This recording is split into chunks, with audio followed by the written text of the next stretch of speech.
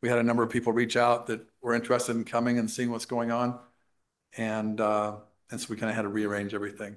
And so this is very put together quickly, but I think it'll be effective, um, chance for a meeting.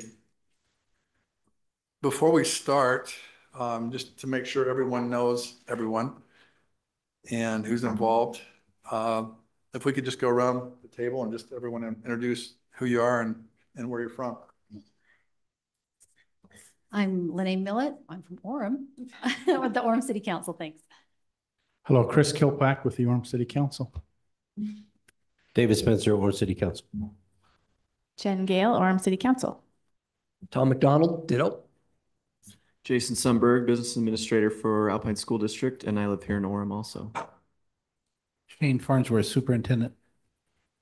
Joylyn Lincoln, Alpine School Board Member from Saratoga Springs and West Lehi. Jeff Lambson, Orem City Council. Sarah Hacken, um, Alpine School Board from Orem. Sarah Beeson, Alpine School District, and I grew up in Orem. I was a tiger. Nice. Stacy Bateman, Board Member, and I represent Lehi. I'm part of American Fork. Julie King, um, I, re- a School Board of Education. I represent, uh, north end of Saratoga Springs, Eagle Mountain, Cedar Fort, and Fairfield. Ada Wilson, Alpine School Board, uh, representing the west side of Orem and Vineyard. And I just want to say thank you to my fellow board members for being here. Uh, We're only missing one. Brenn Bybee, Orem City Manager, also grew up in Orem. Okay, we appreciate everyone being here and uh, interesting all the connections to Orem. Orem. Some people complain that we think that Orem is the epicenter of everything, but all of you have got some connection here, so. Um, as far as, and maybe we can ask the council what they think about this. Um, we have had a lot of public reach out and some people are interested in, in asking questions or making public comments. Do we want to open that up to- for twenty minutes or do we want to, um, uh, just have this be a meeting amongst us or, or I'd, I'd just be curious what anyone, if anyone has opinion. As far as the target that we're shooting for, uh, is we'd like to try and keep this meeting from now until five thirty. And so that gives you an idea of our target. We can end sooner if we run out of things to talk about. But any, any thoughts on if we have twenty minutes of public comment or not? Anybody, anybody, I think we have an awful lot to cover, Mayor. I'm concerned about going into that. And they'll all be here hearing the public, but I'm concerned about that and whether we'll get through everything we want to do in an hour and a half. That would be my concern. okay, any, any other thoughts? I mean, I think if we have time, they should be able to uh, speak if we have time. We're And able to go more through at all the that. end instead of the beginning. Correct. Yeah. That makes Okay, sense. Any, any other thoughts? I think that'll make sense. Um, so let's go down that path. If we have time towards the end, we'll, we'll invite those public comments. If not, then we'll just try and cover the business at hand. Okay, first thing on the agenda is item two point one. Uh, we've got safety issues. Would someone like to clarify what concerns anyone has on safety issues? Yeah. Oh, sorry, Ada. And, and we, we've got these set up so they reach quite a ways, so you should be fairly okay at a distance. Um, I guess I just wanted, it was on, I think. Are you hearing me? Um, I live close to Orem Elementary, and I just wanted to thank you for your close coordination with Principal Ryan Rock. I contacted him today, and he said he met with um, the city yesterday, and they have been meeting frequently. Um, Of course, safety is a big concern because we're building um, the water tank facility right across the street from Orem Elementary. And they have had to do a lot of adjusting um, and traffic control.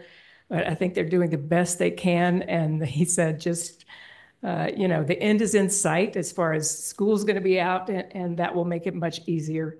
Um, but anyway, he just wanted to say thank you. They had um, a walk to school uh, day, so to try to alleviate some of the um, traffic that's um, daily uh, their problem. And he said that he wanted to say thank you for the support that they got from the city for that day because uh, our first responders were there and showed up.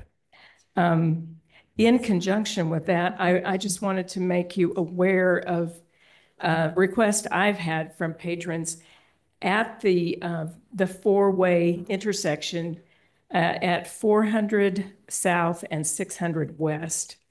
And I'm not sure who here in your staff is taking notes, but that is currently, okay. I don't know who your safety person is. Raise your hand. No? That, that's our entire executive staff over there. Great, ah, that's awesome. Anyway, this is the entrance to um, the park and that, that heads into the back of the rec center and Mountain View High School. It is a busy intersection and people have expressed an interest in having that be a permanent four-way stop or a traffic stop, whatever uh, is deemed to work best. Be- Previously, it was um, a one-way um, stop sign. It- With the construction, that has changed, and, and they think it's a good change to have that be a four-way intersection, safer for kids who are, are crossing at that area. Um, So that's just a request I've had from somebody in my public. Thank you. Okay, I have um, also got a couple of uh, schools that have expressed some concerns. And um, I'm very grateful that people from Orem City have gone to community councils at both Northridge and Windsor and have, that are working with them. But I'm wondering if you could give me an update on plans for, at Northridge, to slow down the traffic on 1600 North. They've discussed a number of options, and I don't know what is actively being pursued, if anything. So one is the, the Northridge area, and there's a little parcel of land that looks like it's going to be developed and what will be happening coming down that road. And the other is at Windsor, they've got some concerns. Um, and, and I've heard kind of backdoor that they were going to move a hawk light away from Cascade and put it somewhere else. So can you just kind of like give us a little update on what is happening and what your thinking is um, at this point with those areas? Come on up. So if I can just introduce John a little bit. John is our, uh, our transportation engineer who we've hired this year. And, um, John Dorney. And, uh, we recruited him away from Horrocks Engineers. And he's part of a multidisciplinary team that we've created recently that has representation from police and, and, uh, Public Works and, and, uh, really kind of all around the city to try and make sure we're looking at these different transportation-related safety issues kind of comprehensively. And so, yes, John, I believe is, has attended some of these school community councils and could give us the latest on some of. the Yes, thoughts he's we've the had. man right there. Good to see you again. Thank you. I think Check, check. Yes. Yeah, we've been at the same meetings off and on, and Taylor, also from Public Works, has been at a few regarding Windsor, Northridge, and Cascade. So there's, there's been a lot of activity at Cascade. I actually went there today and talked to the principal and asked, we, we added some safe hit bollards, those white sticks that keep people from, from parking in the red zone. We had a few residents tell us that there's been some near misses of students traveling through that hawk signal. And we're gonna adjust the timing of the hawk signal because there's a delay when they push the button for the hawk signal to, to turn on. That's not fast enough. You know, twenty or thirty seconds at a signal is a long time. And so we're gonna shorten that so the red turns on. We added those, those buttons that, that keep people from blocking sight distance. We're adding two crossing guards, uh, this next fall. The Crossing guards are hard to come by. So we're trying to get those, um, August first. The hawk signal moving would be a phase two if we signalize that intersection someday. So if that intersection gets signalized and the, the principal, I think it's Principal Johnson, um, really wanted that to be signalized, so we're gonna do an analysis. And if, if that happens, the hawk signal will, will be removed, because they would cross at the, the intersection. Um, we talked with school district members, they're gonna black out some of the bus striping that's not being used for buses to maximize uh, parent pickup.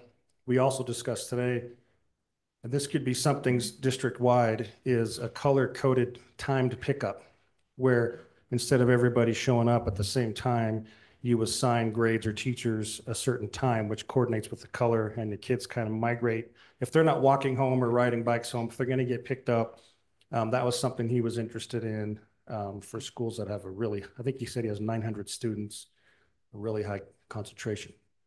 So that's Cascade, working with them. Um, Northridge, that was a couple months ago, I think we met. Yeah. Um, we asked for, we gave them kind of a toolbox of things we could do.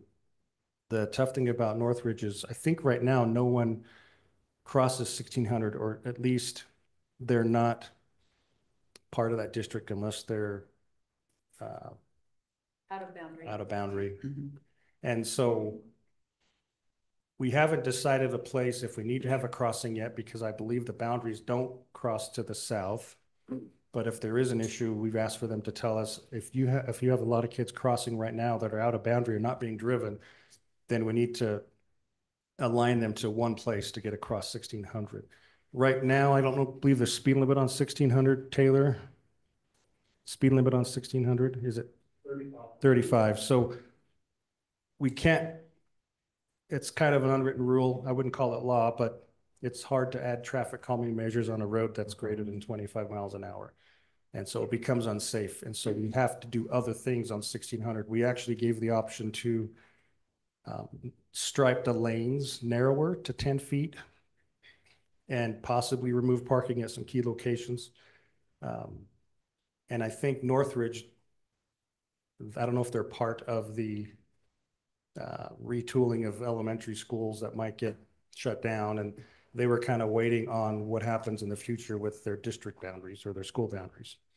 So there's also an empty lot you mentioned that has a potential for access, Yeah. but right now it's a field and it's south of a canal. Mhm.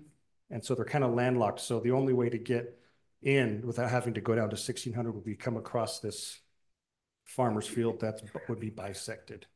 So we're trying to figure out what happens to that land. And then the last one, Windsor. Um, Taylor and I went to Windsor. They were mainly um, interested in their safe routes. Mhm. And so I think uh, we talked a little bit about that, knowing that there might be district changes. I think the district said in a year, year and a half. So we're going to put the safe routes on hold depending on the district changes. But they have a lot of parking lot access issues where they have a kindergarten pickup and another pickup that all seems to conflict. And so Taylor and I are going to actually go watch and see what happens to see if there's a way to help modify that. And so I don't know how, we'll- you know, staggering times or doing something different, but they, they want us to come out and watch real time and see what's going on so we can kind of get a feel for that. Thank you so much. Sure. Thank you. Did you have anything to say about the intersection by Orem Elementary? Or you- I, uh, this is the first I've noticed anyone, so. I have not been meeting with Orem Elementary personally. I don't know if anyone else at the city has, or if there's plans for the intersection near Orem Elementary. This is the signal intersection person at the city, Taylor Forbush. We're talking about six hundred west. Mhm. So we, we got a request for uh four-way stop there um prior to to the construction and closure. And um we went in and did a study and then they closed the road. So um we're we're gonna wait for that road to open and do a uh further analysis and see if that uh, warrants it. Thank you. Just know that there is continued interest. Yeah. So John, will you talk about twelfth West, what the work that you did for Bonneville there? Sure. So we, at twelve hundred west, about thirteen sixty north, just west of Bonneville Elementary, we, we met with them also. That's where the sidewalk ends southbound on twelfth west. Yeah. And we're hearing that people are crossing, whether it's school or not school. Um, but it keeps the kids from being able to cross reasonably because there's a lot of apartments. I think there's forty something students just in the elementary school that lives in those townhomes apartments. And the safe routes takes them all the way up to, what is that? Sixteen?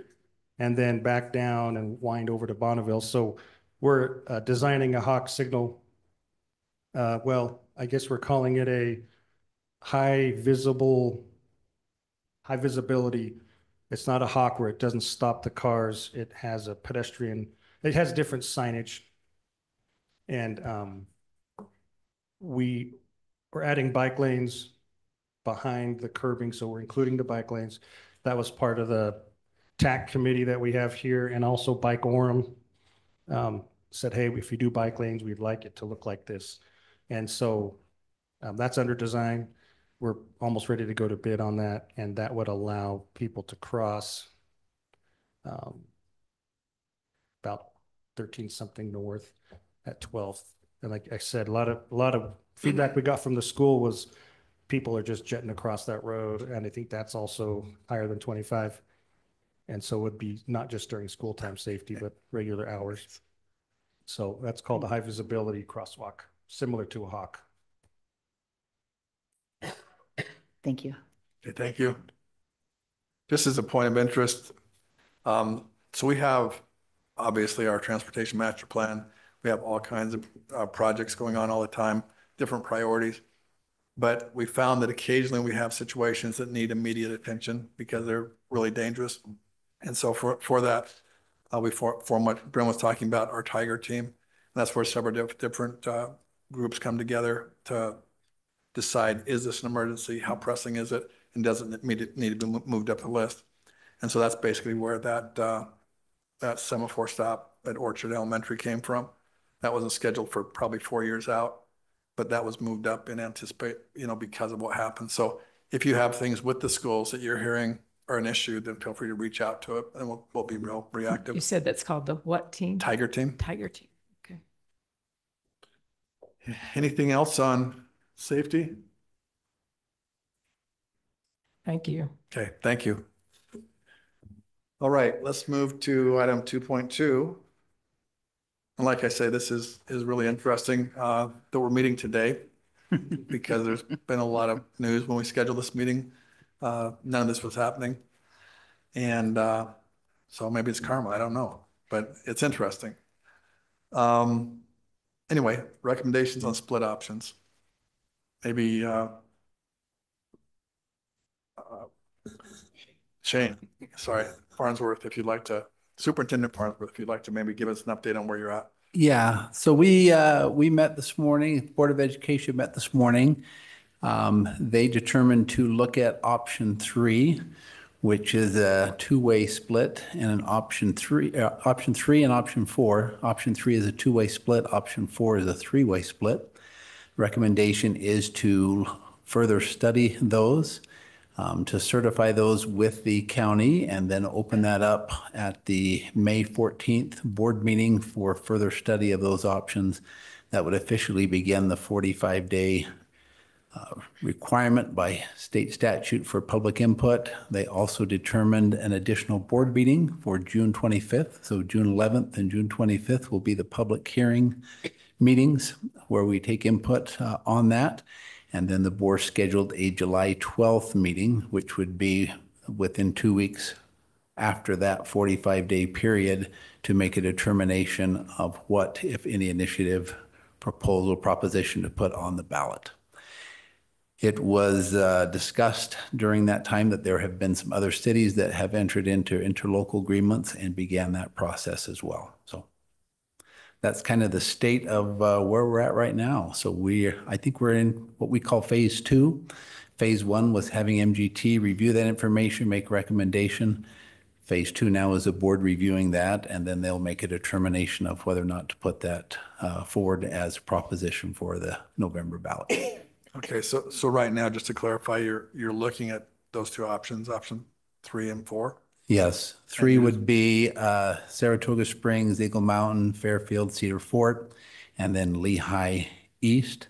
Option four is the same west configuration, Lehi East to Pleasant Grove as a central, and then Pleasant Grove South as a east. We Okay. haven't labeled those east, but those were the three configurations. And then as, as you, so that's right now what you've decided, and then May fourteenth, you'll decide if you want to go further with that or? May 14th will begin, that will be when we officially declare to the public that is what we're seeking input on. That begin, begins the statutory requirement for that 45-day public input. time Okay, period. so, so just to clarify, are you planning on going forward with both those options? Or are you just looking at both those options now and then you'll decide We are, something before? May? the intention of the board is to put both of those options out for public input. Okay, all right, thank you. If I Tom? may, could you, you said some cities have already entered into an interlocal agreement. I think most of us are aware of what that is, but could you clarify which cities have entered into an interlocal? Yes, um, and I will have board members correct me if I err on this, but I believe that uh, Saratoga Springs, Eagle Mountain, Fairfield, and Cedar Fort have entered into a local agreement, interlocal agreement to create a district in the west. And then Lehi, Draper, Alpine, Highland, Cedar Hills, American Fork have entered into an interlocal agreement. Again, I, I- they're following the same statutory process. What they entered into an agreement is to begin the study of that for public input and feedback. When they officially begin that 45-day period, they will have to determine that. But what took place over the last couple of days is the initial stages of that, similar to what the board did this morning in their meeting. Does that answer your So question? all cities, except for the four that would be in the southeast, have entered into an interlocal, to your knowledge. That is my understanding. And, and those cities would include Orem, Lindon, Vineyard, and Pleasant Grove, right? Those would be the remaining cities. Those are the four that I understand have not, to this point, officially entered into an interlocal. Okay. Any, any other, I mean, questions? Jen? I just want to say thank you for your efforts on this. I know this is a very, very difficult topic and you have all been under fire, whatever your opinions on any given split. And we as residents and as a city appreciate your efforts on that. So thank you. Yeah, I just have to say, um, this is kind of the scenario that we had hoped to avoid because our, according to our public, um, they want this to be handled very carefully and apolitically. So we were in the process of doing that and uh, we, we can't tell city councils what to do, but uh, these interlocal agreements essentially um, make it so that our cities cannot vote on what happens uh, overall. Um, But I think, or the Alpine School District will continue to put forward uh, what we consider to be the best option. And we'll let the process play out. And I think it behooves you as city council members to work closely with your compatriots uh, in other cities. So can you, can you clarify that? um, As far as when you say that this doesn't allow the citizens to vote? Right. I mean, because that, that's what it is, right? Yeah, an interlocal agreement only has to be approved by the people within that agreement. And so essentially, what's happening is the same thing that happened in the Jordan Canyon split, where half, a part got to vote and the other part had to take what was left.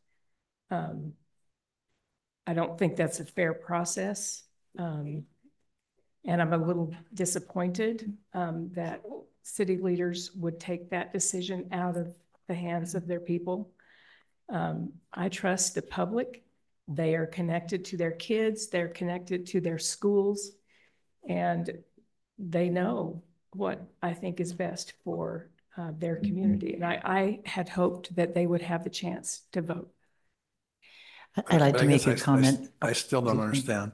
I'm sorry. Because my understanding is that the citizens do have the opportunity to vote. In other words, if the citizens Not in citizens, an interlocal agreement. well, Yeah. okay, let's just, for example, so just to clarify, because I think this is confusing. So Saratoga Eagle Mountain did an interlocal agreement. Their citizens vote, do they want to be their own school district or not, right? Mhm. So they're, they're voting, so how, how are they not voting or being represented? Well, anybody who is not included in the interlocal does not get to vote and uh, on, on what the future is. And to me, um, well, I'm just going to leave it at that. Okay, I, I'm just trying to, to clarify because, like I said, it's confusing. So to clarify, from what I'm understanding, so Saratoga, Eagle Mountain, if they do an interlocal, they can vote. All the citizens there can vote, we want to be in, we want to be out. But what you're saying, I think, is the rest of the district doesn't get a vote whether they're in or out. So they get a vote if they're in or out, but just everybody doesn't, right? That's correct. Okay. And then to say what happened with Canyons and Jordan, that was, um, so one of those two did an interlocal agreement? Oh, was it an initiative? Okay, so it was different. But so they did their initiative and they were able to withdraw and, and that's where you're saying the other was left, left over or whatever, Mhm. right? Okay, I just want to clarify And- so we're all on the same page. I don't know. And there's laws about what happens when there's conflicting things on the ballot. And I'm not completely clear on uh, what would happen in the event that there are multiple things on the ballot. Maybe the superintendent can comment on that. These, there is some statutory guidelines, law with respect to competing initiatives. There is different interpretation whether district reconfiguration propositions are subject to that same statute. Um, There's different interpretation of that, and I would assume there would be further clarification of whether or not the county allows competing initiatives on the ballot, and if so, what initiative would determine, if both passed, what would be the prevailing initiative if they were conflicting? So there is some statutory guidelines on that that talk about the majority of affirmative votes would be the one who rises, but there's, I would say it's unclear at this point, and there is not significant um, case law on that statute to clarify how that would be interpreted. And, and I, and I can just tell you what I've heard in asking that same question is that where that, essentially there's new legislation that creates a lot of this, th- this path. Um, and what I've been told is that if there were, was a conflict at the end of this process, that the legislature would likely uh, create a priority at that point in time. I mean, odds are that they're going to amend that legislation and, and clean it up, but that's, that's kind of what I've been told would happen. Sure. So, We've heard similar. yeah. I wonder if we can have our city attorney, he gave a great explanation when we met with Lindon City Council. Uh, Would you mind commenting on the, you know, like the interlocal agreements, how those affect the vote, how those are, um, kind of like the mayor kind of touched on that a little bit. And then the other option, which is if the district puts something on the ballot, how that is tabulated, calculated, determined. See if I can figure out work this mic here. It's working. It's, it's already on. Okay. I didn't see any light like I'm used to on these things. Uh, yeah, so, and, and I think that the mayor has kind of clarified this with his question, but there is a little bit different, dip, a bit of a difference in the voting process if it is a, a district initiated, uh, proposed split versus if it's a process that's initiated by cities via interlocal agreements. And that is, a- as you've already indicated, if it's, if it's two or three cities that get together via interlocal agreement, then only the, the residents are, are the voters in, the, in those uh, jurisdictions uh, vote on whether they split or not, and the rest of the district doesn't have a say in that. Um, how, on, in contrast, if it is the um, a district initiated uh, split, then you have to have a vote of both a majority of the residents in the proposed new district as well as a majority of the voters in the existing district. So frankly, it's a little bit tougher to get approval, I would say, of a, uh, a proposed split that's initiated by the district because it's a two-step process uh, versus one that's just initiated through uh, interlocal agreement by individual cities. And I think, I think there's some fear that if um, option three, which is a two-way split, was on the ballot, the city's fear that it would not pass. I think that that's not an assumption they should make. Um, And I think they should allow all people in Alpine School District to vote. I'd Well, I think it's, you know, who, do I want Eagle Mountain voting for something that happens to Orem? Does Saratoga want Orem voting for something that happens in their area to me, that's a little different interpretation than, you know, a different viewpoint than what you're saying. I understand everyone should vote, and really the, I, I really feel like the best way for that to happen is to have every community join in an interlocal agreement. And then you have those opportunities for everyone to control their destiny. You know, right now, we're the only ones that aren't in an interlocal agreement at this point. So if something does happen, I fear that there will then be, you know, well, we never, there will then be these continuing conversations. That's one of the cons, right? Continuing conversations of, we didn't get a choice, we didn't get to vote, we didn't get to, you know, to That control our destiny. So I think that that's just another perspective I've heard, um, you know, from our public that I think you know, probably needs to be out there and discussed. I'd like to give just a point of information for those who are listening either in person or online. When we began this process last fall, we hired a company from Florida, MGT, to do a feasibility study for us. And part of that process was to hold meetings and to get public input, and then also to have public input online. And so they ended up with over 11,000 responses. And they use the same questions for each meeting. So PTA meetings, employee meetings, um, you know, a variety, um, public people, public meetings. Um, but obviously, some people have responded twice to this, to the survey. They were both there in person and they also responded online. So I don't think we can say that their 11,000 number is the number of people who actually responded. It's probably less than that. But in every cluster, because I uh, have looked at this, um, the majority of the people who responded wanted option one. They did not want a split. And in some uh, cl- clusters, it was a higher percentage than others. Some it was like 51%, and some it was like 67 or 70%. So cluster to cluster, there was a great deal of variance. However, those same people also said they wanted on the ballot. So even people who are in favor of staying together felt like they wanted to put on the ballot, they wanted to have a choice, they wanted to have that discussion. And that is one reason why we have moved forward with further examination of two options that we will be looking at and getting public input on until uh, the end of June. And so uh, I, I want people to understand that there is a lot of support for staying together, but there's also a lot of support for taking a good, deep look at it across the district. And that's the process I think we want to follow, or we are following. And we would like to work very closely with all of our cities to get correct information back and forth. Thank you. Tom? Please.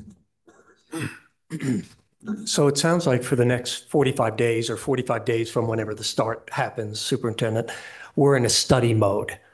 Uh, There is a possibility at least two interlocal agreements may be signed, and you may recommend a two or three-way split. What if those two interlocals go? Would you, could you put a two-way split on, or would you have to go to a three-way split vote?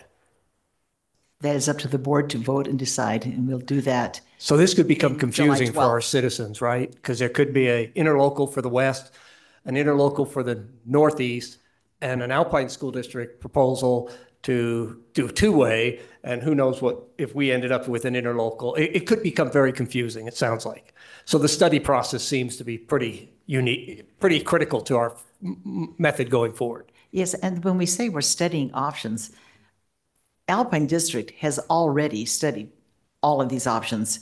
They have collected data, they've looked at all kinds of uh, factors involved. So an important part of this is for the public to study the options. When we say we're studying, it's not just us, it's mainly giving the public a chance to study, to look at the data, to ask questions, to come to meetings, to give input. So it's a two-way study process. And really important to note that the MGT space. The MGT study looked at maintenance and operations, so it was just one snapshot from fiscal year twenty-three. So part of this further study also brings in the capital planning piece, um, the properties that we have, the new builds that need to happen, seismic concerns and renovations. So that study was just one piece, and we need to now complete the rest of the, the total picture. And when are you, I mean, I, I just heard rumors. I didn't get to watch all your meeting today. So you're gonna be doing that over these next forty-five days, or you had, I heard something, I watched the first part of your meeting and you got something at midnight last night or something along those lines. Is that what you're talking about, that information? Yeah, so part of what we received um last night or early this morning were the capital needs for options one, two, and three, um, and not for option four. So because now we have voted to move forward with exploring options three and four, then we'll take a look at what that looks like for option three, what that looks like for option four. Okay, and I guess you're working on that, Jason, right? Is that what you're? Is- Is is that something you're doing internally or is that something MGT is doing? Is MGT complete now or are they still involved in this? No, that, it'll be an internal thing that we're working on on that. So you're just gonna go through all the different options as far as what the potential capital costs are? Yeah, and we're looking, we're not, we're looking at new school locations, not new things that would be needed. Because that could be in, oh, somebody rents a district office or builds, so there's not decisions on that part of it. How, how about would you include like the big thing we have here in Orem, seismic overhauls, seismic repairs? Would that be included in that study? Revel report. It can be, yeah. I mean, I, I think that would be important to us to, I mean, to me, that's a big missing part of the puzzle is what are the capital costs going forward, you know, outside the budget? Yeah. I think, and the, the board will come to consensus hopefully on what that data package looks like. It'll satisfy the statutory requirements for that. But it will likely be just the, the capital plan that we have updated on an annual basis, divided into those areas. And so just because a, a new district could decide whether or not they want to rebuild that school or adjust boundaries. So we would just share, this is what we've considered as possible capital needs going forward. When we are a consolidated district, these would be considerations we would recommend a new district look at as possible capital needs going forward. That would be very valuable. Um, I also, in this study, um, I, I would love to have seen some, you know, they showed an impact, they showed an impact on like bonds, a two hundred million dollar bond, right? Um, and I really appreciate how Alpine has done the revenue neutral, you know, bonding with bond layering. And I feel like I would like to kind of see how that would be, you know, instead of the snapshot, you know, here's really what it's going to cost now, a year out from now, you know, what anticipated bonding do you have? Kind of going away from just the snapshot that was given in the MGT study and showing like you have when you've presented bonds in, the- towards to the public, um, moving forward, if that makes sense. And I, just to clarify, um, and, and you just, you spoke to this, but as far as this capital cost analysis, I think one of the most important things for Orem is the seismic piece. And so, Um, we need a really clear picture on exactly what that looks like. I mean, for example, in the, in the last bond, they talked about, they were gonna put, and, you know, forty million dollars, I can't remember what the number is, some number towards seismic, but it wasn't determined if it was in Pleasant Grove or Lehi or Orem or where. We'd really like to know what our school's condition is and what that looks like going forward as far as it does need to be fixed. And of course, that would include, to me, that's your option four. So in these, um, not just Orem, but Pleasant Grove, Lindon, Orem, Vineyard, I guess is what we're trying to say, right, as a whole. I would be very interested to see that. The document that Jason sent us last night or early this morning, um, for the east, which would be Pleasant Grove, Orem, and so on. On capital needs, it has an elementary rebuild for Orem listed.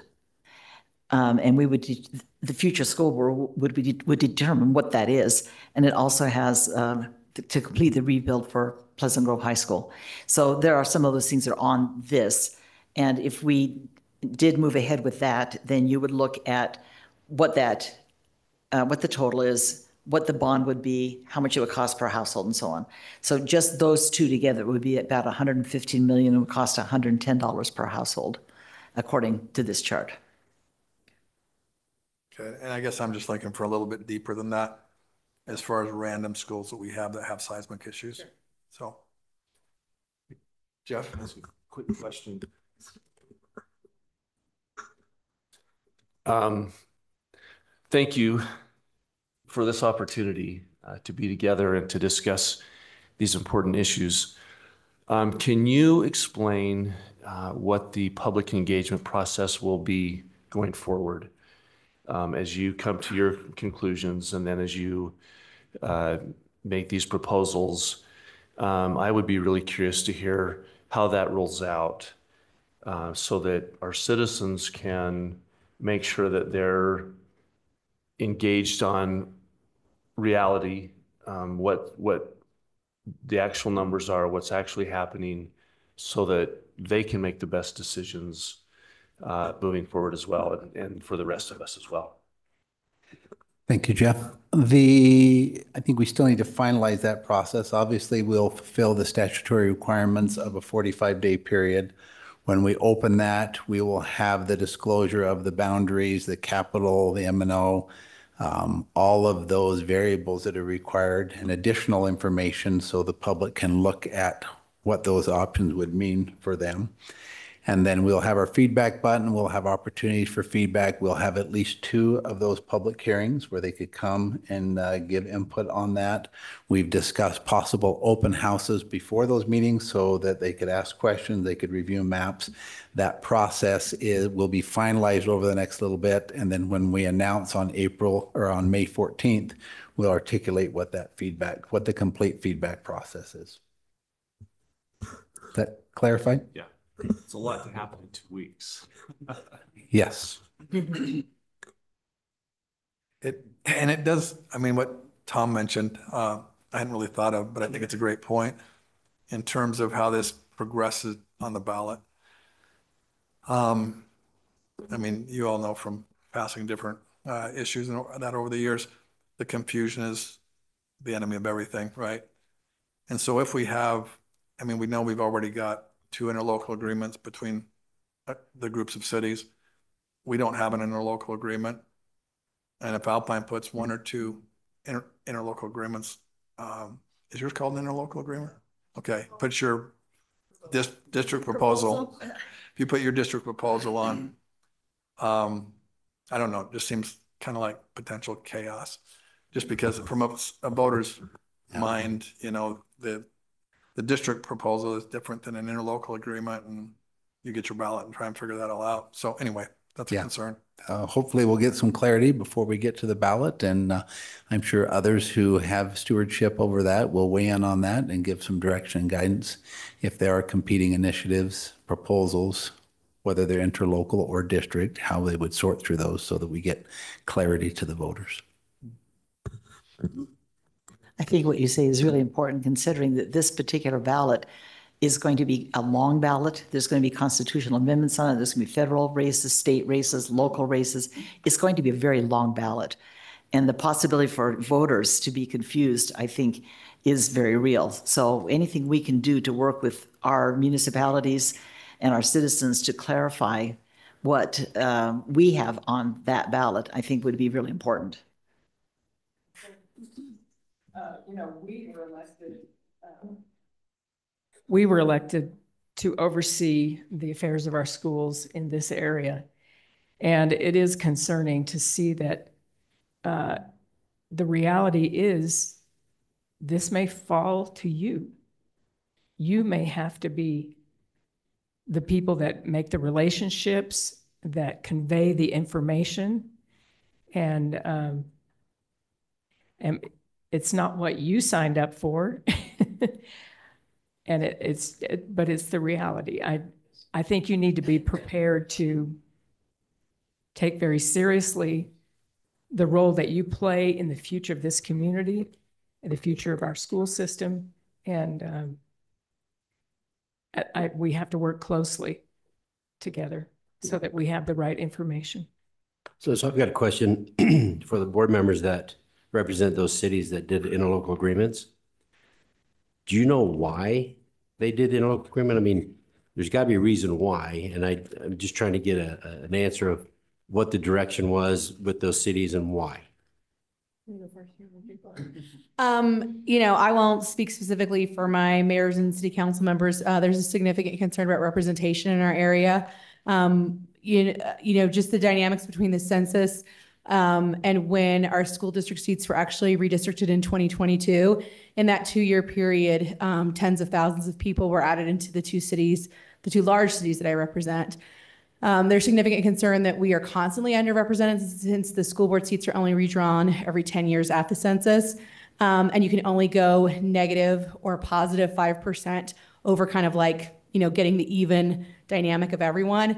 And so one of the problems is in that two-year gap, we're already, even though we started the negative 5%, we're already the, we're already more than the positive five over by the time the new people have been elected. Um, so representation is significant. Um, another, you know, considerable issue for my area. We just can't build schools fast enough. Um, we have a lot of kids. Uh, we've got 3,200 kids at one high school, 2,900 at the other.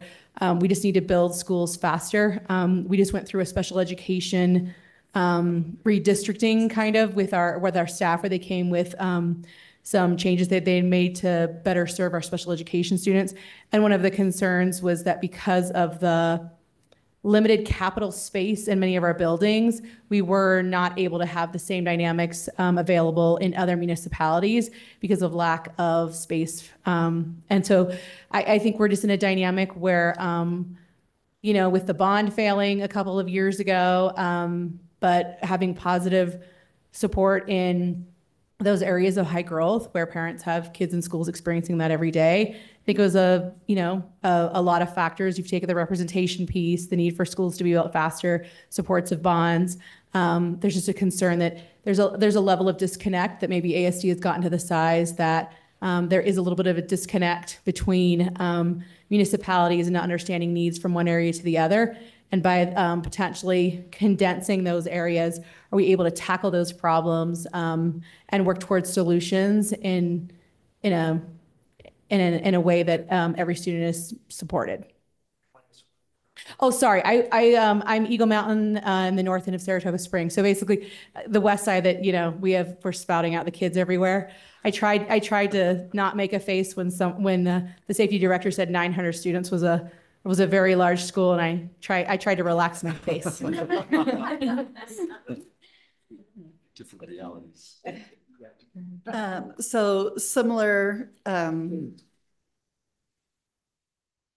similar to, uh, our municipalities to these, I would say the first concern, um, for my city was representation. Prior to our redistricting, uh, about a year ago, Julie and I covered forty-eight percent of the entire district, just the two of us.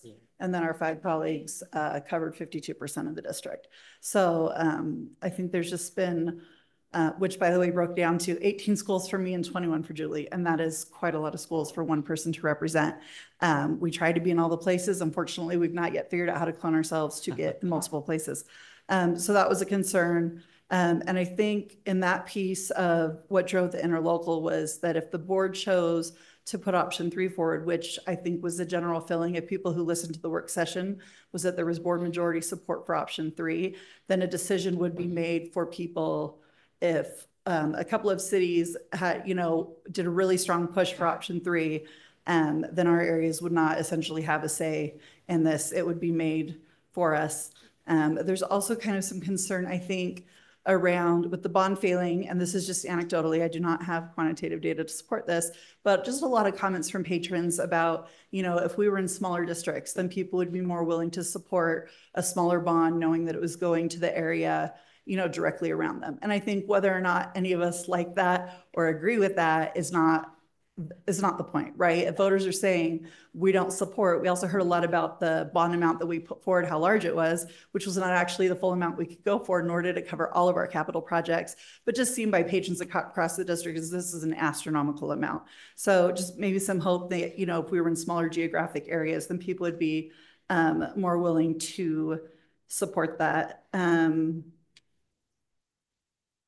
Oh, and then the other piece, and this is why I advocated so strongly for option four to be considered, because we do seem to have different priorities in different geographic areas, right? Like we've heard from a lot of Orem constituents who said, we really like our neighborhood schools and we would like the option to keep our neighborhood schools, which I fully support. If Orem decides, you know what, we want to keep these schools open, we're willing to pay for that, I think Orem should have the opportunity to do that then we have areas that are declining, right? And so let that area decide, are we going to, you know, consolidate? Are we going to renovate? And then in the west, bless you as you go forth and you try to um, build, I don't know that you can build fast enough to keep up, but just, just in maybe a faster way than is currently going. So, um, and I think the other uh, piece is that um,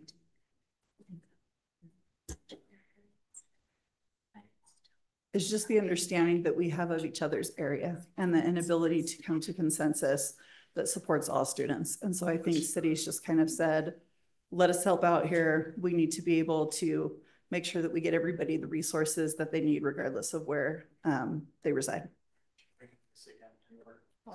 Oh, sorry, uh, Lehi and Corner of American Fork. Sarah, do you mind if I interject really quick with one more thing? I forgot to say this one too. The other benefit of an interlocal is that um, right now the code states that uh, we have to hold two public hearings as a district. So if you can, um, you know, two public hearings for the 14 municipalities. Um, But interlocals are required to hold two public hearings per city that is involved. So for example, in my area, they'll be required to hold eight. Um, in the other configuration that is together, because it's six cities, they'll be required to hold twelve. So there is a, as a, there is a higher capability, I guess, of the public to be involved and, and make comments. Joy Lynn want to comment. She's also these areas. Yeah, I- She was going next. You've got the mic Oh, right Sarah, there. Sarah, um, You asked that question. Yeah. Joy Lynn is also one of those representatives. right. I'm, I'm just going down the, Um, I'm Sarah Beeson and, um, I'm over the American Fork, Cedar Hills, Highland and Alpine area. And I guess if you're asking for, you know, a reason of why, I think, um, ours, it was a little bit triggered by Lehi.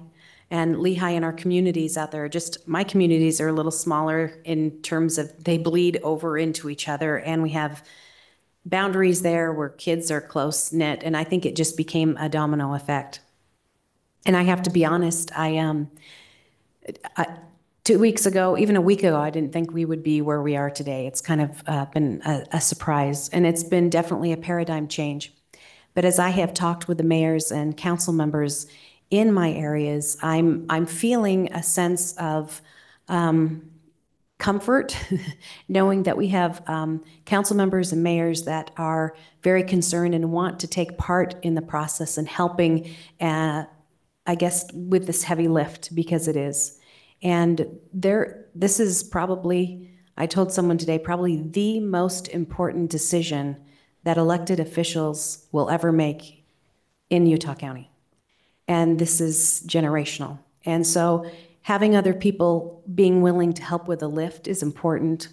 And the members of my community and cities are committed to working with us as a school district to make sure that we are looking under every stone and leaf and trying to really get into the weeds of things to make sure that the data that we have is sufficient. Um, they're also willing to be wrong, uh, which is uh, wonderful. Uh, and uh, they said, you know, with their um, interlocal, they were wanting an exit uh, clause in there so that if they came and their findings were probably the same as the district, that they would be able to pull out and continue through. I think they're, they are just wanting to make sure that their data is just right. And so um, I'm excited at the prospect of being able to work closely with these communities and to be able to see what we can find out and to look at the data together and study. And so it's a definite link arm in arm with our communities. And that should assure our public. That is one thing I want to assure the public. I think there may be a perception out there that, oh boy, we've got cities that are taking over Alpine School District. And I was reassured, and I would assure the public that this is not a referendum on anything with the Alpine School District. It has been a wonderful district that has given many opportunities to our children, our grandchildren. Some of us have grown up in this district. I think it's just we are going into different times where people are wanting a little bit um, more of an opportunity to have uh, say of what goes on. And I think there was a little fear that they'd be left behind. Um, Highland did not, wherever Lehi went, Highland wanted to kind of go, and same with American Fork. It just kind of was a domino effect in my area. So that's where we are. I'd love to clarify a piece of this. So Lehi did not initiate this. So there at the meeting a couple weeks ago that I know some of you attended, that was um, put together by a city council member in another city in an effort to just get councils together and talk about what kind of the issues were and what your role was, if any. And I uh, do believe that Councilmember Newell told you recently before a meeting that Lehi was not interested in going west. And so that's kind of how that So I'm talking about the process of the, when they started the study. They were the first ones to start the study, and it was just the done. And then you want to make a comment, ma'am? Uh, what was your name? Um, I'm Joylyn Lincoln and I represent, um, South Saratoga Springs and West Lehi. So that high growth, underrepresented area. Um, and it's just really challenging to live in an area where your growth is so fast that, that needs can't be met. Um, with the failure of a bond, it was felt very differently in my area than it was here. Um, here it didn't affect the number of students in a classroom like it does in my area. Um, like I said this morning in our meeting, I spoke with a chemistry teacher on Saturday at, at the um, Utah County Republic or the Utah State Republican Party convention, and she said all of our classes next year have 45 students in it. 45 students in a chemistry class is really difficult to do a lab science um, and to actually make sure the building doesn't burn down. Um, but but it's just really challenging. And so I think in my area, they were just looking at the challenges um, that are placed on the area and trying to meet students' needs. Sorry, I really am just going to keep coming back to this, the interlocal thing. Um, the other thing that I guess I wanted to mention, I was able to attend three of the meetings where the interlocals were voted on, um, Cedar Hills, Lehi, and then the um, Saratoga Springs, Eagle Mountain, and Fairfield actually held a joint meeting. And I would say one of the things that was really interesting specifically in the Lehi and the Eagle Mountain Saratoga one is they specifically put it in their motions that they supported the other cities' interlocals. This was not a competition. It was not an us versus them. They also made statements about this is not about the district as far as being anti-district. Um, all of the people in um, those seats who are making votes are very um, supportive of Alpine School District. So just to kind of, I think, lead on to that thing that it's, you know, it's not an us versus them thing, that everyone um, was very collaborative. I've had conversations with city council members and mayors from across the district, and the core has always been in every discussion, how do we serve our kids? How do we serve our employees? How do we serve our communities? And so um, I just want to make sure that I articulate that um, this is not a city versus city thing, and that if anything, it has been one of the most collaborative processes I've ever seen um, between that many elected officials. Thank you. Can I just say something that? Oh, okay, gonna sorry. Sorry, I just wanted to, to interject that um, the, the needs in the West are real. Um, We just have not been able to keep up with, with years of, of needed growth with the failure of the bond. And I just want to point out that the district has done what it could, and that is to use the LRB process um, for emergency build of a junior high and also an elementary school. Um, thi- this is what we could do. Um, and recently, uh, we, we've, uh, a a legislature, legislator, uh, s- severely limited that process. Um, so we're kind of at the place where we, we have to do something. Thank you. Lene? Yeah, I just wanted to, so I had someone send this to me and this is, um, I, I attended one of those meetings and it was very collaborative with the elected officials and very, I was so impressed by the, um, I want to say compassion for the other municipalities. Very impressed with that. It was like asking questions, well, how can we help you? How can we make sure that you are not left out in the cold, that you are taken care of. And when I say you, it's your kids, right? We're talking about kids here. This is, that's the important thing. And I'm just, I would just want to read this one because I kind of had to write it down because I wanted to say it correctly, but it's like, this is not city against city, area against area. This is not a vote of no confidence in ASD. And I really love that theme. That theme was present everywhere. I want you guys to all know that you're appreciated and everything that you do, the staff, the board, very appreciated throughout these conversations. Please know that. Um, rather, it's a let's divide and unify. I love that, right? How does that, how, you know, you divide and unify.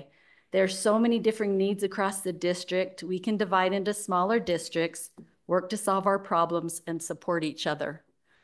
And uh, that, I just wanted to kind of share, that's the messaging that I heard um, in conversations that I've had in, um, or that I've been, you know, told about. Uh, I just want to hats off to y'all and for what you're doing. Um, Sarah Hacken and I had, what, a two-hour meeting yesterday. And it was really great because we talked about how we had, and Dave Spitzer, how we had um, kind of evolved and changed our minds on some things. And that, um, you know, it really was about the kids and the, and the teachers in the community. So I've appreciated these conversations and I really appreciate hearing your experiences too. Thank you. So I have a question. And we can, we can opt not to do this.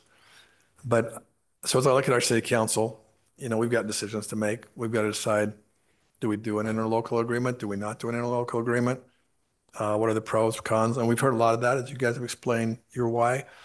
Um, I'd be curious from someone, since you guys have been doing this for several weeks and you've been through the mill, right? I'd be curious to hear maybe from one of the school board members why you would advise us not to do an interlocal agreement and why you, I would advise no. why you would advise us, why, why you advise Orem to not do an interlocal agreement? And then also the other side, why you would advise us to do an interlocal agreement? Is, would you be willing to do that? Yeah. So, I don't know if we. I think this is a conversation we're going to be having and, and I don't know that this is the proper setting to have the back and forth of that. I mean, I could, I have a why and I will be communicating my why. Um, I'm looking at this agenda and I would like to get on with the agenda, but I could tell you my reasons. I have communicated my reasons to, to other people. Um, I, I just fundamentally believe that a three-way split is the most disruptive, the most expensive, and the most disadvantageous to our, our students. I'll just say that. And I, I really don't want to go into, you know, a, a prolonged discussion because it is prolonged. And I think, I think it serves us well to go on with the agenda. well, so the reason I asked the, the, the reason I asked the question is because, I mean, as a council, we've got to decide if we're going to do an interlocal agreement. And even though whether you're for a three or a four or whatever, that's great, but the question at hand, do we do an interlocal agreement in the next week or so? Uh, or not? And, and so I'd, I'd really like to, Essentially a three-way split. If everyone does an But- interlocal agreement, that is a three-way. split. right. And so you- you're saying, well, I'm not going to say what you're saying. But yeah, I don't want to restate your, your, yourself. But I, I just want to know from our standpoint, should we do, unless, unless we don't want to have the answer to that question. I'm just curious, as long as we got the school board here, would you guys Yeah, advise us yeah, to from my do an perspective. interlocal agreement or not, kind of thing? Um, I want to real quick give you a piece of information that I think is important to know. Um, so when we first started having conversations about MGT coming and what was going on, and we had, you know, a lot of patrons or council members coming to those sessions, it became clear ear- early on that Saratoga and Eagle Mountain um, wanted to form an interlocal, right? And it became who was going to come next. And so at that point, my city came in trying to figure out which way do we go. Um, and I, and I really think the biggest, um, reason for the interlocals is so each area, um, would have a say, right? So just real quick, according to our 2027 projections, um, we would be, uh, at, uh, 26,000, 34,000, and 23,000 in a three-way split, which are very, very close numbers, right? Obviously, the West We start off with the smallest. I know. Um, so they're at twenty-three thousand, but they have the, you know, the projection, the possibility, they're gonna eclipse us all, dwarf us. Um, uh, but I think the important part to know in these, in this scenario is that Lehi is the, uh, we have the largest tax base and you have the second largest. And so when we talk about moving into three ways, um, and we actually, in 2027, that central area would have 10,000 more students than you would, right? But we have a a similar-ish enough um, basis. And so uh, for me, the reason to enter into an interlocal is so that there are, each area, west, central, and south, would be able to weigh in and to say either, yes, I just please let me finish. You say, yes, we want to be in this, or no, we do not. Also, part of it from Lehi is we would be the largest contributor with the smallest voice, right? Now, the argument to put on something, to not enter intern, an interlocal might be that you want to do a really big campaign to say to your citizens, you know, we want you all to vote for the option that the school board puts forth, knowing then that everybody from Lehi down to Orem would, it would have to pass in that whole area for it to pass. So to me, that is the reason to or not to. I would say the biggest reason to not do it is if you're going to remain city centric. If it's just going to be like, you know, it's Orem versus Lindon versus Vineyard versus PG, don't do it because that's not a healthy dynamic ever. Um, I would say that the cities that I um, represent are kind of an interesting dichotomy because I have Eagle Mountain and Saratoga Springs, which are slated to be the two largest cities in all of Utah County and are expected to have at least 50 years of growth. There's 52 square miles in Eagle Mountain and it's only 25% built out. Like it's it's not just coming, it's coming a lot and for a very long time. Um, and then I have the cities of Cedar Fort and Fairfield, which have about 400 and 100 people apiece. Um, and it's a different it's a different community. It's um, sometimes the kids ride ATVs to school, and we have to remind them that that's not legal. Please don't do that. Um, and every year I have dynamics where I see kids on horses who are riding horses to and from school. So it's a little bit of a different feel, and it's an awesome feel. But those cities have a different culture in each each one of them. If it's something where um, it's not going to be a collaborative effort, don't do it because then it'll just be a lot of adults fighting in a room, and then kids pay the consequences. If you are willing to have a conversation, put some ego aside, have a level of humility, and um, compromise, then I would say it's something you should definitely have a conversation about, um, especially if you feel that your areas are facing similar issues, whether that's kind of having a stability, a decline, or um, in my area, significant growth. Um, to work together to solve kind of one problem together, I think there's some benefits um, to that as well. Thank you. Can I just make a quick comment? Um, Mark Clement from Pleasant Grove, Lindon. And I think uh, the main difference is if a interlocal votes for it, then they, the other parts of the district are not involved in that election. So if you wanted to be able to resolve this just with, for example, Orem, Lindon, and Pleasant Grove, irrespective of the rest of the district, then that would be a reason for an interlocal agreement. Okay, thank you. And uh, just as an observation, if every city is part of an interlocal, that means we have one choice. There's only one choice. And I don't think that's what we signed up for. We didn't sign up to have one choice. And uh, and if we think that this is the way to keep our small neighborhood schools, I think we're in for a rude awakening because a smaller school district will only magnify the mm-hmm. current problems we have with balancing student enrollment, the quality of the building, and accountability to the taxpayer. Those three things, on those three things, many of our Orem schools are outliers. We're too small, our building is too old, and they're costing more per student than anywhere else in the district. And what we want is to have uh, state-of-the-art schools. We want to have fully enrolled schools that offer choices to our, our, our kids so they can have more than just one teacher. And we want to say to our taxpayer, we're using your money wisely. And this is in the, the area of the school district that has the greatest socioeconomic needs. In other words, we, are, we have families that are living paycheck to paycheck. So I think if we think that being in a smaller school district is going to solve that problem, I think we are going to be giving up a lot of the current services that we enjoy and a lot of the current options that we are giving our children and curricular and extracurricular activities. We will be paying a price, and that will not get better. It will become more concentrated. Listen, Ada, I mean, I, I mean, the question is that the mayor was asking is, there are cities that have already done two lo- interlocal agreements. Yeah. So PG, Lindon, Orem, and Vineyard Yeah. have no vote, have no say. So that's why we do an interlocal agreement. So we But then you still have no But choice. I, I don't You have believe the one scare choice. tactics that we're, we're doing. I mean, everybody can scare everybody, but everybody should have right to vote. And that's, that's my, my DNA, so. Yeah, it, it- but it gives you one choice, yes or no. But we don't have a choice at the moment with 200 local agreements. Yeah, it's, There's it, also it's very problematic, and I, that's why I am saying your leadership, your leadership is, is crucial at this time.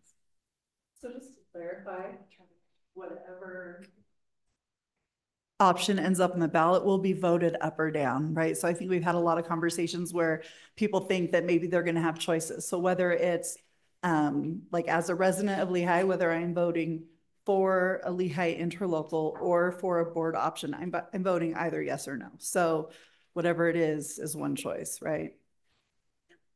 Right. Tom? If I may, Mayor. Clarification. If, if Lehi votes for theirs, Lehi and company, forgive me, and Saratoga Springs and Eagle Mountain vote for theirs, we de facto become a district. If, with or without an interlocal. If we have an interlocal and Pleasant Grove, Lindon, Vineyard, and Orem vote for theirs, and Lehi votes against theirs, and Saratoga Springs and Eagle Mountain vote for theirs, Lehi just got put in an interlocal whether they wanted it or not. Uh, The one that seems most likely to pass to me, and you could clarify this, is a Lehi Saratoga Springs exit. It seems like they're most inclined to do the exit. Eagle Mountain, Saratoga Springs, sorry, Eagle Mountain, Saratoga Springs.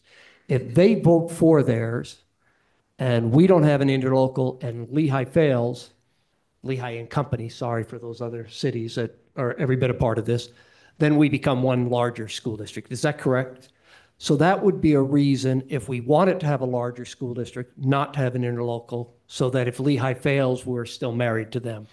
It kind of makes the choice for us. Yeah, right? well, I or mean, people it- would it's- vote for it. Cause you, cause we're not voting. Yeah, we on are. We're voting our for, three-way. We're, we're what- not voting on a three-way. That's all Uh, that's split. Yeah. If they put a two-way on the ballot. Then we vote for or Orem against that. No opportunity to vote for a three-way split. But it's a future thing. Yeah. We don't want to go through this again. So- There's spaces out there. I mean, there's, there's kind of, there's not many dominoes. There's not many, uh, uh, cu- you know, cups to saying, move. You talk about choice, that's very But- important to determine right there. Absolutely. And it's not all tax dollars. I get it, because there's also representation. I think a lot of people would speak to that. But if Saratoga Springs and Eagle Mountain and Company voted no, and Lehi and Company voted yes, and we didn't vote, We'd Then- still be a district together. we'd still be a district. Are we connected somehow? The lake. The lake? Okay. And, and that's before the bridge gets built in 2075 or something? Okay. Thank you. Those were the pieces I'm seeing float around. I, I mean, the way I understand it is we either have a choice as far as we have, we, we, we do something proactive or something just happens to us. Yeah, and, but we don't have the vote, we don't have the choice of the bigger district from Lehi South if we put an interlocal on. I guess we can vote no and see what happens. Yeah, Yeah, you vote no on both. yeah, yeah. Then it's back. But then you get to vote in order to get to, vo- I think. Well, I that's think what we'll get to hearing. vote because Alpine School Board will have something on the ballot. Maybe. We'll know that in 45 days, right? Well, 45 days from April 14th or, or May 14th. Vote on. Okay, so, Forty-five and then fourteen. I don't need to repeat. July twelfth. yeah, so there's, there's a lot of options and this has been great because this helps our council have a lot of information to, to digest, think about, incorporate. And Mayor, it necessitates a visit with the other three players that aren't here. Absolutely, absolutely. And my guess is they're probably watching. So, Can I make one more comment really quick? yes. Um, so I think this is the first time since I've been on the board that we have been to Orem. And so I guess my hope is that whatever the outcome is, whether it's interlocals or a district ballot, that whether we are staying together as one or we are in two or three different configurations, I love this opportunity and I hope that we'll continue to do this because I think the vote is just the first part, right? Like, so depending on how that goes, we're either going to move forward working together, trying to do the best thing for kids, or we're going to move forward in different directions, but still having to figure out what goes where. And so I just appreciative of being with you all today and your willingness to engage in this conversation. Thank you. Fo- Following up on what Stacy said, I don't know if the public realizes that a reconfiguration is about a three-year process. it, it doesn't happen just because you vote on it. It takes time to elect a new school board, hire the people, divide the assets and liabilities, et cetera, et cetera, et cetera. And so we as a, uh, an Alpine board are committed to keep moving together as an Alpine board until those uh, solutions are final and the schools are open, opened under other district names. But until then, we are still Alpine and we are still working together. Right, and, and, and to, to be specific, right? If there's an election in November, it's thirty-two months after that before things are finalized. So decisions that are made today are basically, hey, we're deciding what's gonna happen in three or four years. So going back just a little bit in, in some of our conversation, um, Ada, you mentioned something, and I think you mentioned something about helping with heavy lifting, getting information to our citizens.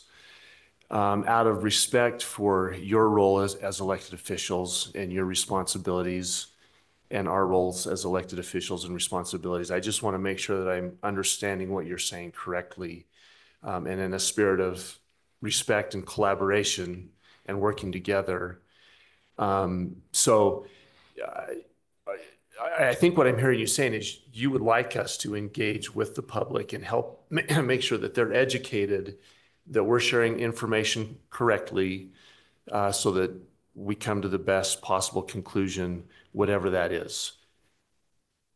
Am I hearing you correctly that you're, you're okay if we're, if we're out there uh, educating our public as to what's happening Yeah. along with you? I, I think, uh, um, our, as our superintendent has said, we have, uh, contact with our patrons. And we have, uh, that is our av- av- avenue of getting information out. And we're very good at that and, and, and informing them of opportunities to, uh, get more information. We also have a website. You know, we do everything we can to get information out you have access to a broader public that we do not necessarily have. And so your messaging is very important, um, as was demonstrated with uh, the bond. Um, so we do want to work together with you to make sure that the information that is is given that is is accurate and is information that they can use to to reach a decision um, that would support their their children. So yeah, we do, we do need to cooperate. So, thank you, Ada. Okay, well, I do have a goal to hit this by five thirty. So we're gonna have to make this tight, but I think the next two items are really important. Um, and they're more an ask than anything. We've got Windsor Elementary, uh, item number two point three. And we've also, we've had, as you well know, uh, there've been, what, three elementary schools shut down, uh, in, in recent times uh, with Sharon being one of the, the most recent. And that actually created a lot of controversy. And it takes you back to, you know, representation and our neighborhoods represented type thing, but there's a big fill on that. But we've got Windsor on here because we still want to keep Windsor open. And we feel pretty strongly about that. And so our ask would be with all this commotion and who knows what, where this is all going to go as far as split, no split, whatever. Uh, we'd really like to have that school stay open until there's some clarity on where this is going. And it, it- our concern would be if we want that neighborhood school to stay open, then we go through a split and now the district is in, you know, if, if there winds up being an Orem, uh, Vineyard, Vineyard, Lindon, Pleasant Grove district, we don't want that school to be shut down because then we've got to try and figure out what to do with that. So it, so that, that's an issue. And then also, um, as far as the DLI, uh, magnet school at Orchard, that's creating quite a bit of chaos in terms of the way that neighborhood school works. And Lene can speak to that better than I can, or, Well, Dave Spencer lives in that area. Yeah, too. You Dave. wanna Talk about that, Dave? Well, yeah. Yeah, I mean, I just know that uh, our kids live across the street from the school, and if they're not in a DLI, you can't go. You're, the parents have to drive them somewhere else, and I, I don't think that's fair because that is not a sense of community. And I'm hearing that over and over from the parents. It's not right. We need to keep it the normal school and take the magnet. Maybe you can do it in Magnet in somebody else's neighborhood, but not in Orem for now. Wow. And I'm going to speak to the Windsor part of the magnet, the DLI magnet, because Windsor has a very successful DLI program And creating the magnet school at Orchard will essentially force the closure of Windsor because the kids that are in that DLI program will go to the Orchard and then there will be diminished enrollment in Windsor and there won't be enough time for that to, um, you know, recover. And so then there will be this justification for closing Windsor. We already lost a number of teachers. I, I heard a percentage and maybe someone can yes or no, but you know, twenty-five percent when the edict was made that Windsor was going to be closed, the, the teachers were like, I'm out of here before this is even decided, right? So instability again for our kids. These are underprivileged. This is my neighborhood, um, Title I school. I kept my kids there when a lot of people went to Orchard or Foothill or Northridge because we, that community needs um, uh, some strength.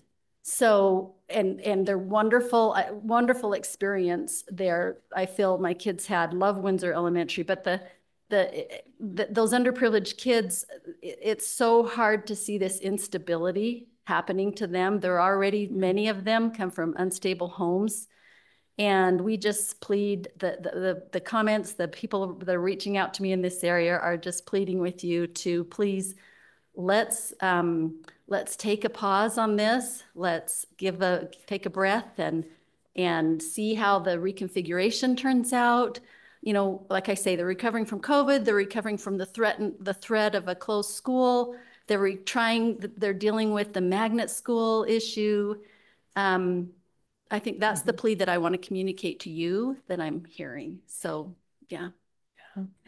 Well, when I saw that this was an, a- an agenda item, um, I did a little bit of research and background. And first of all, we have to acknowledge that this, we have paused and there will be no movement on this until the 25, uh, 26 school year, which is not next year, but the, the following year after that, at which we should have some more certainty about what configure, reconfiguration looks like. But I Oh, wait, Just a minute, is it set to happen in twenty-five? Is it set to happen That's- next fall? yeah, we've paused on So it, you're not going to do it next fall? correct? Um, We're, we're not, Okay, there's no action being taken this fall. With change in legislation, it is now dual language immersion and gifted and talented programs. The change in those are a board vote. And so the recommendations that were made previously to be uh, commenced in the 25, 26 school year will now need to go back before the Board of Education for a determination. okay, so you're going to vote on that, you're, you- you may flip, you have to vote. You may go, you may continue with it, you may not. Is that what you're telling me? Okay. Uh, and I'm just going to address the recommendation. And just to clarify, we got two things going on. We got Windsor and then we got the DLI. You're talking about the DLI is 25, 26, right? Correct. I'm talking about the recommendations that were finalized by the staff, legislative, enact, the legislature enacted changes to that bill to include dual language immersion gifted and talented now go through a similar process as boundary and school closure. So it's a board uh, decision. I'm not hearing many concerns about the ALL, but the DLI magnet I am. Yeah. I want to clarify though, um, we previously looked at schools and whether or not we were going to close them. So we don't have any open studies like that right now. So we said, well, so this is the program side, but then in terms of our smaller enrolled school, if we were going to close any school in the district, we would have to start a new boundary study to say we are at this area. So that's not open. So, so to clarify again, Windsor is not on the chopping block currently, is that right? No, that's, it's, there's no. Yeah. Um, so anyway, I, I talked, I, I called up uh, the current principal of Orchard Elementary, which by the way, is at such a crisis um, that without district support, they would have split classes. In other words, combined grades for first and second, third and fourth, fifth and sixth. This is, this is a problem. And we also have the problem that, that because we're trying to uh, provide equal access across the district to programs, we had two Spanish dual language immersion programs right next door to each other. That's a problem. In And so- Orem and, and In? Orem. Those are the two you're talking about. Well, I'm talking about Orchard and Windsor, those two oh. programs being right next door, It's two Spanish being right next door to each other. So the idea to Well, create they're a successful programs, both of them. Yes, yeah. Okay. I'm not, I'm not arguing that, but I talked to Principal uh, Cynthia Cardenas, is that how she pronounces that? Uh, of Orchard, and she could not be more excited uh, for this magnet school program. She said currently um, there's very much a division between the students that are in DLI and those that are the general education. That this has been a problem that they've been working on because they do not play together. And uh, they've changed the schedule so that they're kind of forced to intermingle. But she said with a magnet school, they can become one culture, one united school. And they can celebrate the cultures uh, in the, that both, not just in their homes, but in the community. Um, she says she's looking forward to having four classes that they can choose from. They can recruit more people to participate in the program. And she said they, they're hoping to get like a 40, 50, uh, sorry, a, a 60, 40 ratio between those who are native speakers and those who are English speaking, learning the language. Um, she says uh, this is going to be phenomenal experience for those that are coming to our community knowing no English, that this will be an opportunity for them to participate in a half school day that they can actually participate in. I've been in a, a class where there was no participation because they, everyone else was engaged except the poor students that did not know any English. They were clueless. And we have got to find a way to serve that population. Uh, they get to know each other in the way that they are not. And um, they're looking forward to having those uh, native speakers from Windsor mixing in that program. It will enrich that program. She could not be more excited for a magnet school at Orchard. So- so Right, I've but I got- got to, oh, go ahead. Well, I I just have a question because I think Sarah Hacken is over that school. And what, what are your thoughts on that? I have a lot of thoughts. and I've had a lot of conversations about both Orchard and Windsor. And part of the dilemma we have is the nature of the DLI program is decreasing class sizes as they age up. So you start with fairly large classes in first grade, but by sixth grade, you may only have 17 or 20 kids. The others have moved out and moved on. Whereas in your gen ed classes in that same school, you might have 32 kids or 33, um, and they have fewer options. So all of our DLI programs are, are working through that challenge. And we would love to have more support from the state on that and you know more FTEs given to us to support those programs because we're committed to those programs and they're very very good programs. So the question is, what do we do when we have declining enrollments, when we have um, inequities between the gen ed program and the DLI program, and so on? So in a perfect world, which it's not, um, what we would love to do, it, for example, is in a perfect world rebuild Windsor. That has been something we've discussed many times. And it's partly a funding issue. And what do we do about Northridge, which Northridge in 1985 had 1,100 students. This year it has 395. That's 59 down from last year. And so when you have Windsor and Northridge, they're basically half a mile apart or a mile apart, um, and one has only 395 students, then we've got to look at that because that is so small that there, there are not adequate programs and opportunities for those kids.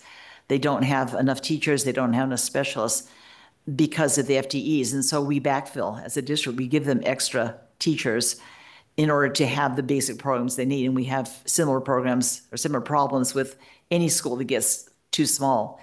So one of the issues in the district is when is the school too large? When does it get too small? And how do you support those extremes? So in, in terms of Windsor, as I have talked to Windsor people, what they would like is for us to rebuild Windsor. And if we had a bond, we could do that. And many of them have told me, we don't mind going and joining with Northridge, for example, for a few years while they rebuild our school and then bring Northridge back. But if you talk to Northridge people, they're not sure they want to do that. So there, there's a lot of Yes, I've discussions. that, Unfortunately. Yes, we all know that. So there are a lot of discussions that need to happen and a lot of discussions we cannot happen, have now. We've got to get this reconfiguration solved.